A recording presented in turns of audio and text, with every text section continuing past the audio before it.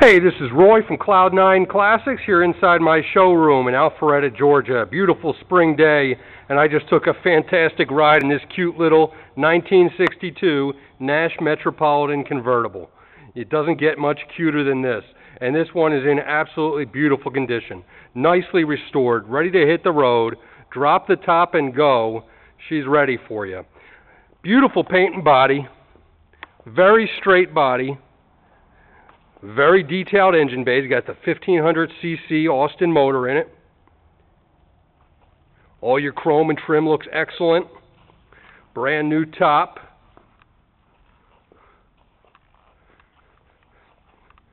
Just super cute.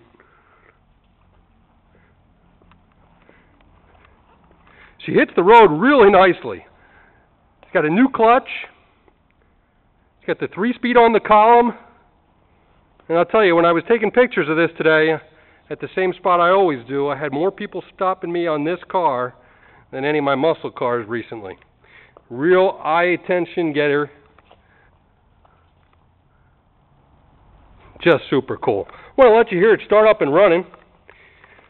Basically going to sound like your mother's old sewing machine. Starts right up. Turn the key your starter, just pull that. And there she goes. Interior looks fantastic. It's got the houndstooth interior. The rear seat works, folds down for uh, added storage into the trunk.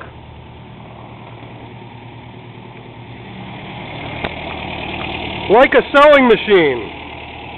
Listen to that engine purr. Let you hear it running out of the single exhaust.